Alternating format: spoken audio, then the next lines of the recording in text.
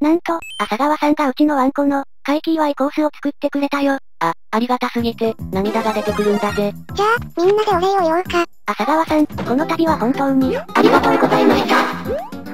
うちのワンコ、少し前に顔の毛がごっそりと抜けちゃったんだよね。それだけじゃなく、顔が腫れ上がって、特にまぶたがひどくて目がほとんど塞がってしまってたんだぜ。朝起きた時は気のせいかな。せいうくらいの感じだったんだけど、昼前にはもうすごく悪くなっていて、慌てて動物病院に連れて行ったんだよ。馴染みの動物病院だから、受付の人やコンシェルジュの人もみんなクールのこと知ってるんだけど、顔見てびっくりしてたよね。診察室に入るまでの間、コンシェルジュの人が色々とクールの世話をしてくれて助かったよな。普通の動物病院だと、なかなかコンシェルジュなんていないだろうからね。24時間やってる大きな病院が近くにあって、本当に安心だよね。お前のマリオメーカーのプレイは、全く安心できないけどな。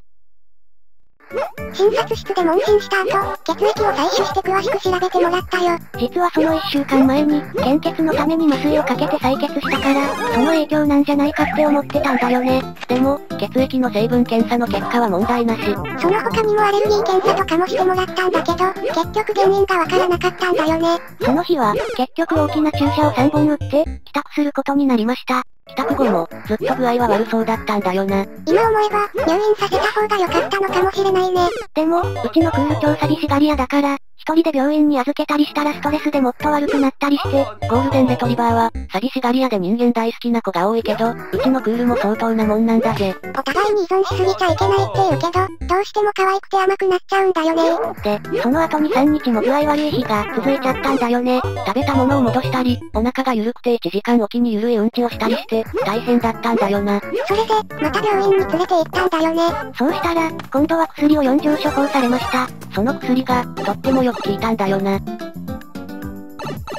っと具合が悪かったうんちも、次の日には良くなりかけてたよね。薬をもらった日から3日後には、顔の腫れも引いて、ほとんどいつものクールに戻ってくれてたよ。顔の毛が抜けてしまったのはどうしようもなかったけど、今ではもうだいぶ見られる顔になってるんだぜ。朝川さんは、治療中にもクールのことを心配するツイッターを何回かくれたんだよね。きっと、その気持ちがクールにも届いたんじゃないかな結局何が原因だったのかは未だにわからないんだよな。アレルギーも、血液検査も問題ないし、何か変なものを食べちゃった可能性も低いっていうことだったもんね。今思い返せばなんだけど、最初に病院に行った前の夜には、いつもなら喜んで食べるおやつにそっぽ向いたんだよね。もしかしたら、その時にはもう具合悪かったのかもしれないな。そうだとしたら、長い時間苦しい思いをさせちゃって、悪いことをしたよね。ワンコは自分で苦しいって言えない分、飼い主の私たちがもっともっと注意深く観察してあげないとダメだって感じたよ。おかげさまで、今では代々木公園のドッグランにも遊びに行ってるんだぜ。け、決してポケモン目当てじゃないんだからね。クールのためなんだからね。業務、本当にそうなんだけど、そんなこと言っちゃうとなんだか怪しく聞こえちゃうよ。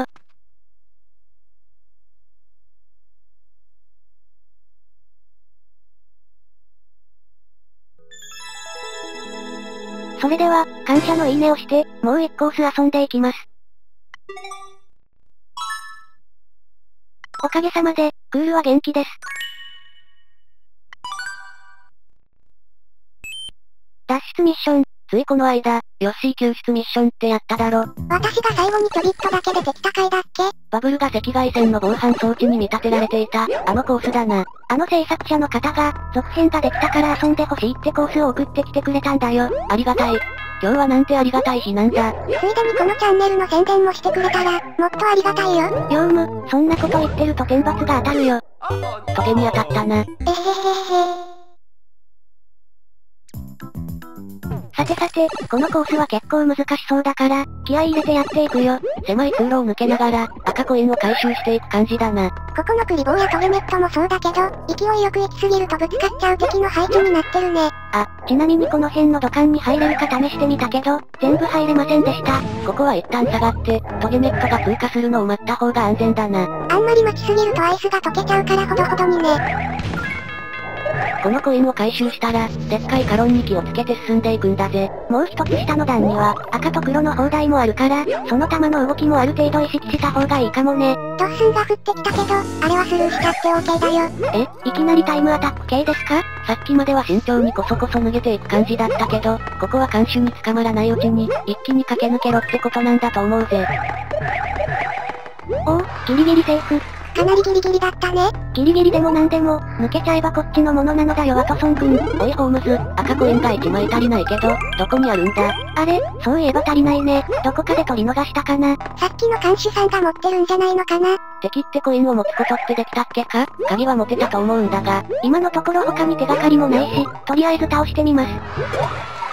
うーん、やっぱり違ったか。もしかしたらこの先にあるのかもしれないよ。プリンか。いやいや、今欲しいのは、プリンじゃなくて赤コイン、もしくは鍵なんだぜ。え、私もプリンの方がいいな。じゃあマリサは放っておいて、二人で食べようか。お前たちがプリンを食べるのは構わないが、せめてここか。ら脱出してか。らにしてくれ。いつの間にか。赤コイン揃って鍵を取れてたね。おお、また随分ギリギリだったね。ふっくふく、ギリギリを攻めてこそ天才マリオ実況者レイム様なんだよ。安心しろ、お前が天才だってことは、以前から見てくれてる方ならちゃんと知ってるからな。レイム、なんて不憫な子なの？前回のコースではヨッシー逃がしちゃったから、今度は一緒にゴールしたいね。